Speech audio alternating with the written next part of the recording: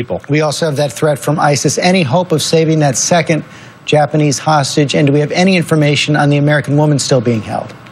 Well, the president had a good talk uh, overnight, uh, our time here with Prime Minister Abe, underscoring our continued support for and partnership with the Japanese.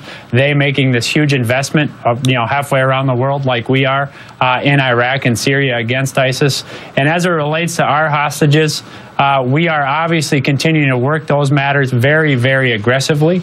We are uh, sparing no expense and sparing no effort, uh, both in trying to make sure that we know where they are and make sure that we're uh, prepared to do anything we must to try to get them home.